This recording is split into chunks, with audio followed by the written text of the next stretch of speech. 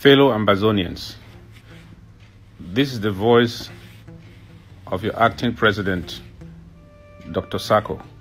I have received a lot of messages in my inbox and calls from concerned Ambazonians who uh, have uh, received a of uh, audio recording with the voices of uh, uh, leaders of nationalist groups and myself, uh, advertising the All Southern Cameroons um, People's Conference, uh, scheduled for uh, the 29th uh, to the 31st of, uh, is it to the 31st of March in, in Washington, D.C. Some are asking, is it true? Some are asking, is, is this uh, from you? And I've heard all the noise um, trying to castigate that uh, event. But I want to talk on behalf of the interim government and tell you uh, why I am involved at this stage.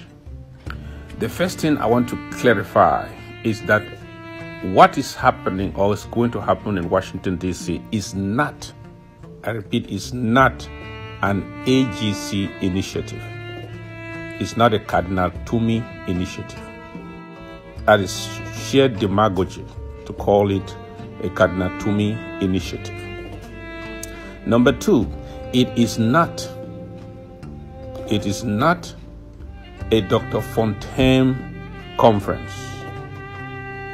Dr. Fontem is the initiator of the idea, or he actually brought the idea to us. And you remember, without us, there will be no conference. So he brought the idea to us. We, we, we filtered through the idea, and with time, our questions were answered. And we came on board to organize the All Southern Cameroons People's Conference. So, to clear all doubts, let me explain further how it all began. Dr. Fontem is one of the pioneers of this recent uh, movement uh, that started uh, in 2016. He found himself here in the United States last year and has been here, and I believe he will be here until Ambazonia is restored. So he has had held meetings actually representing our ideas, our positions, if you want to know that.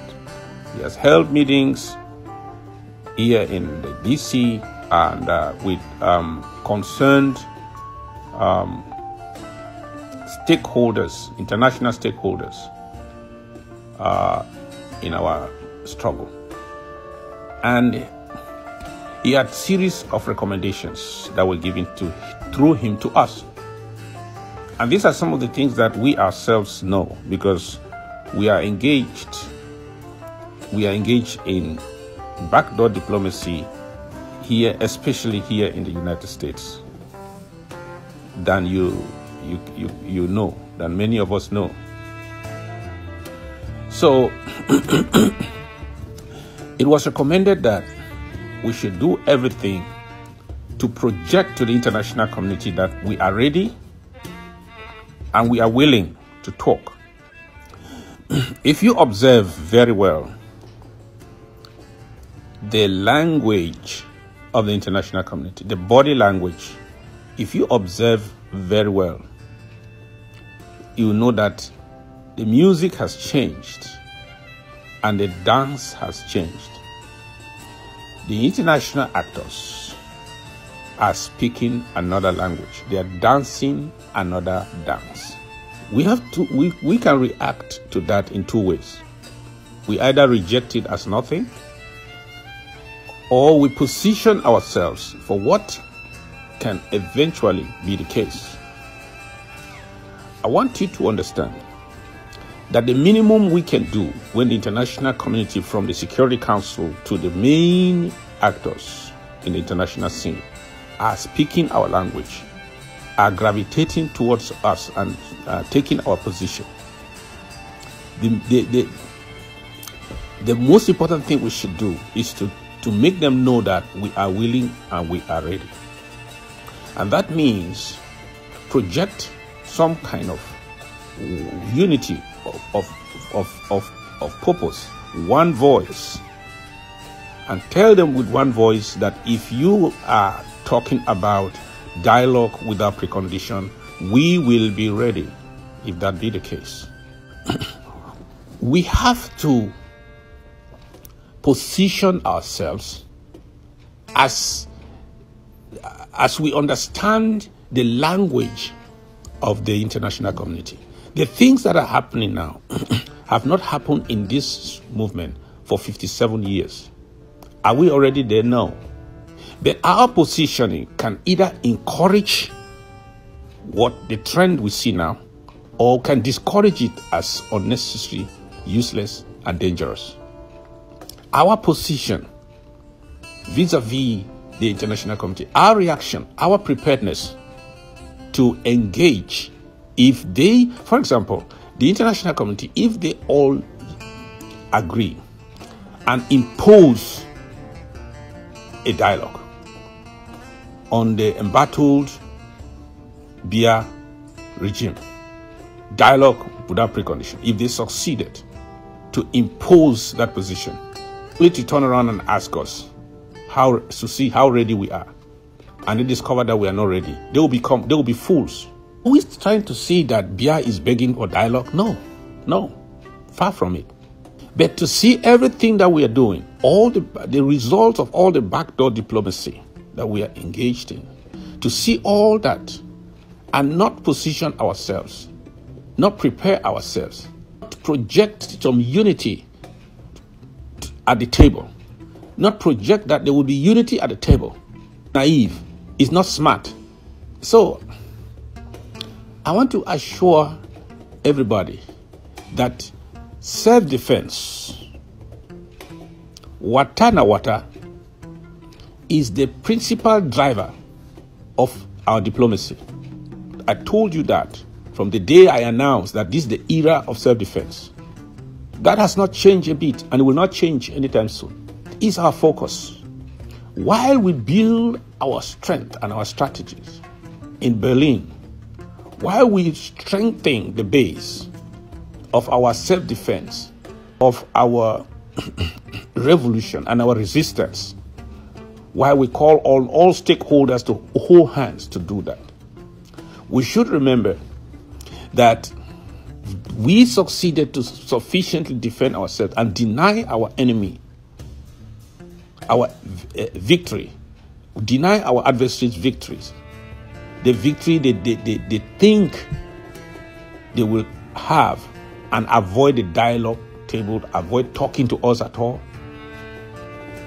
If we refuse them that victory, the international community cannot continue to bear for too long.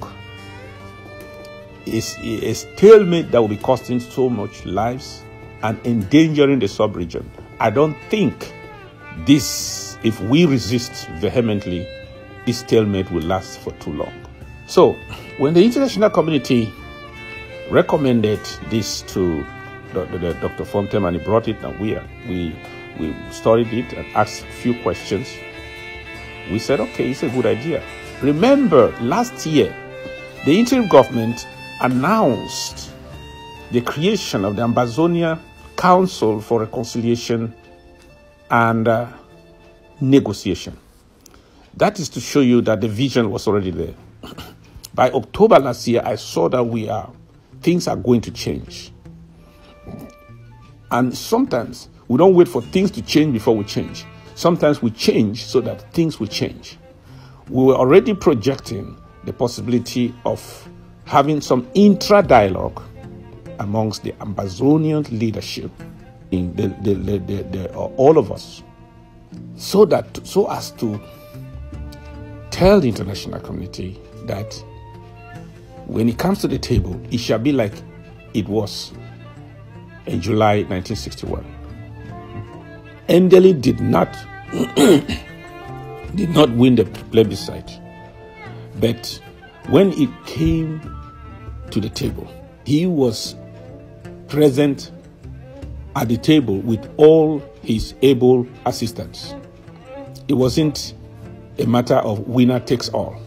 That is what gives assurance to the world that once this problem is resolved, we shall be one and uh, we, sh- we are ready to govern ourselves.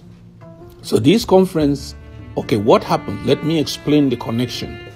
What, what did Elie Smith and the Reverend Gentleman come here to do? We were contacted as the interim government after we frustrated the um, the Cardinal Tumi conference, the AGC, twice from holding in Buea. Apparently, the international community in Yaoundé realized that that conference cannot hold without the diaspora. That's how they put it. So we were contacted to see if we are ready to talk. Because the way the La Republic has sold their, their, their message, their propaganda to the world is that we don't want to talk.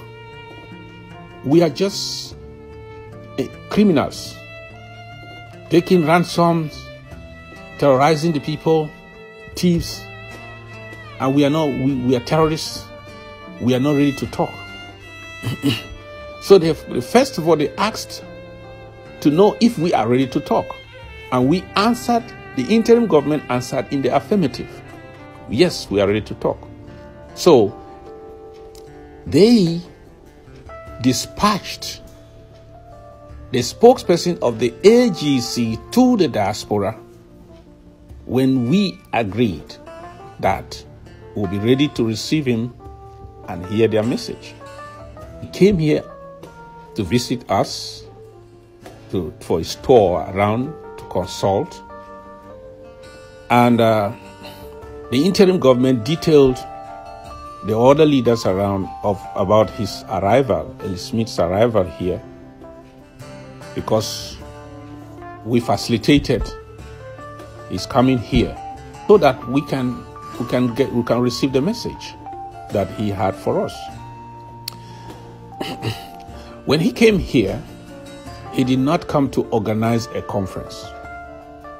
He came here to ask us a question whether we are ready for the dialogue if that happens, if that should happen today. And the answer was yes. So, other leaders of nationalist groups said yes, we are ready. So it was yes, yes, yes, yes. So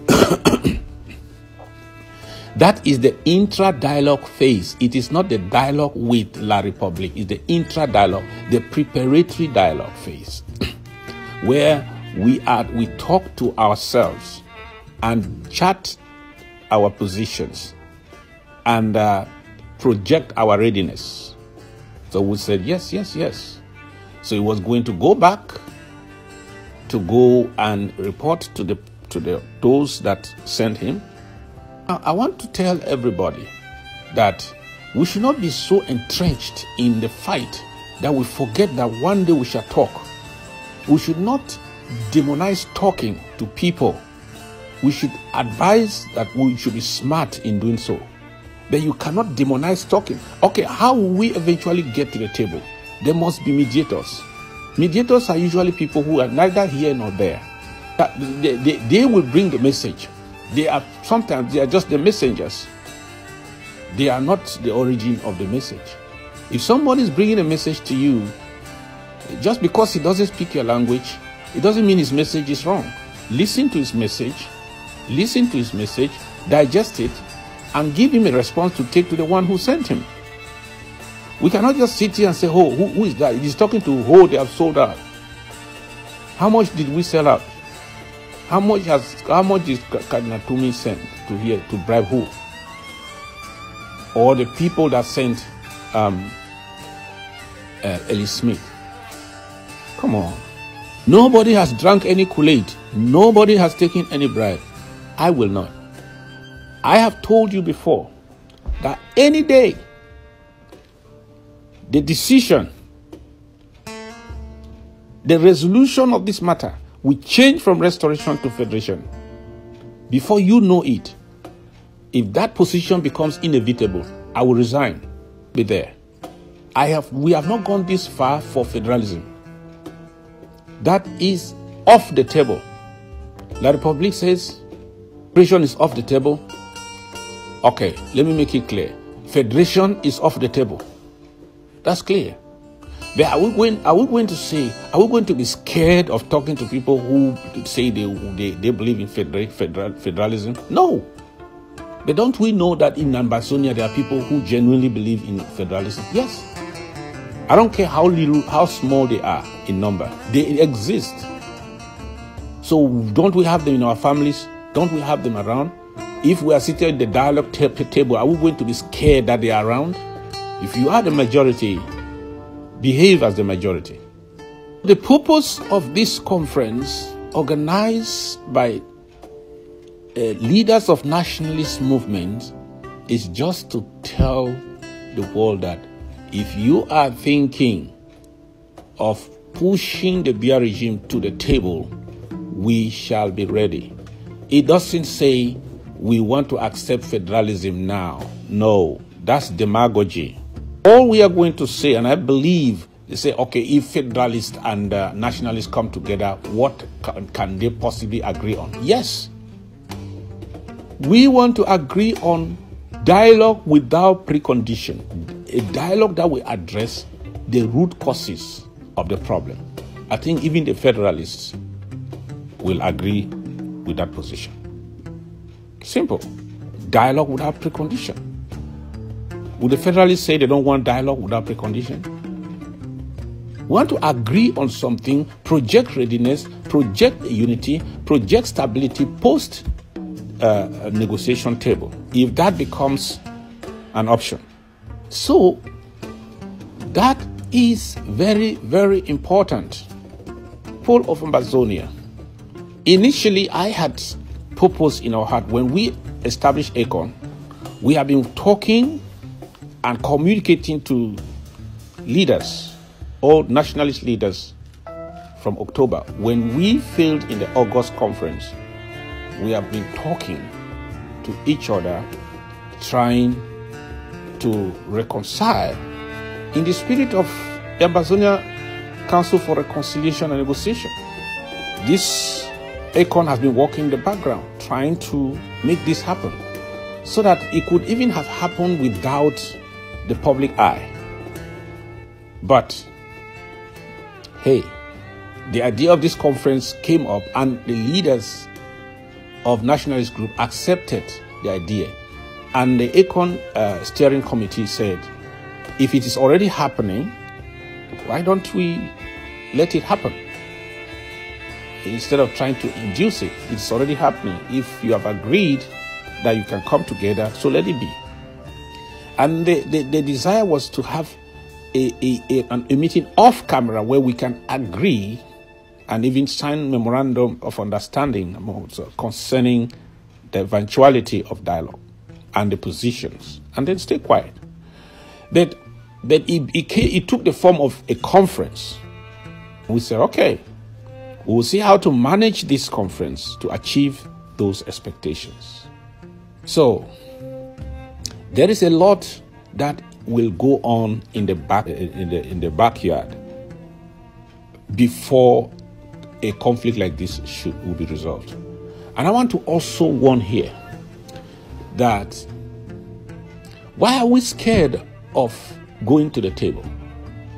Our our our our problem has been redefined by the international community as a conflict.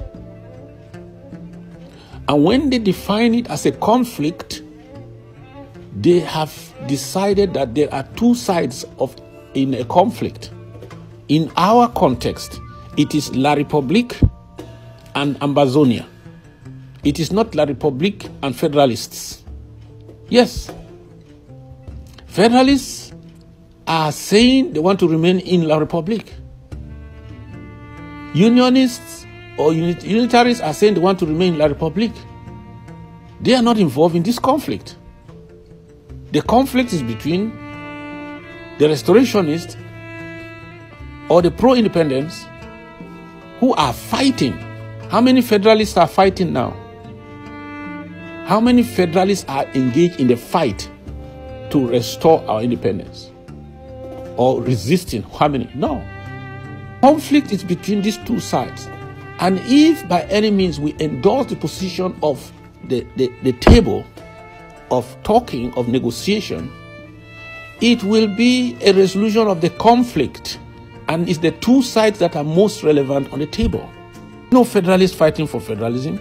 The Federalists are telling us not to fight, we, that we can resolve this problem by begging the Lela Republic.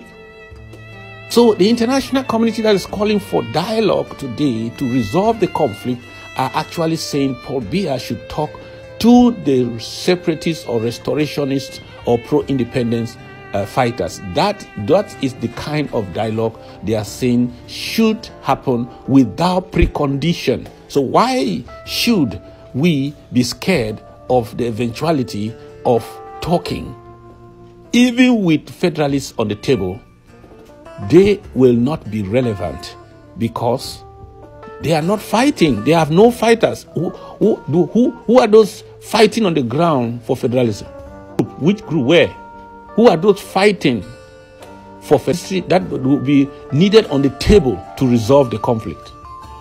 But if everybody is coming together as Ambazonia, including whoever, and they will they are coming to say dialogue without precondition. Who has won? Who has won the argument? People, people, you see, there are many people with loudspeakers, but the problem is they are ignorant.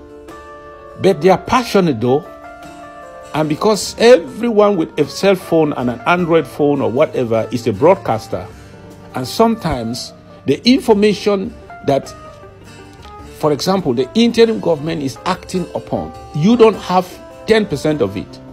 So when you make your analysis, 90% of the chances, especially on, uh, on classified issues, will be wrong. I take this opportunity to say that we should be very careful. We don't labor so much when it comes to the point of gathering the fruits for our success, we lack the patience and the wisdom to do it. I will never sell out this struggle, not even for the whole world put together. I will not. And so, there's no sellout here. And even if somehow somebody or any nationalist leader nurses that agenda, I want to assure you that if I am still in that coordination, it will fail. That you can take to the bank. But allow us to maneuver this very important moment when the international community is dancing to our tune and you don't want us to change our music to adjust anything. You don't want us to listen. You don't you fear everything. I know once beaten, twice shy. But if we did not die the first time, I think we have become wiser. Fellow Ambazonians, if you are making any plans to attend the All, Ambaz- uh, All Southern Cameroon uh, Conference in Washington, I encourage you to do so. We are winning, we are not losing. God bless you.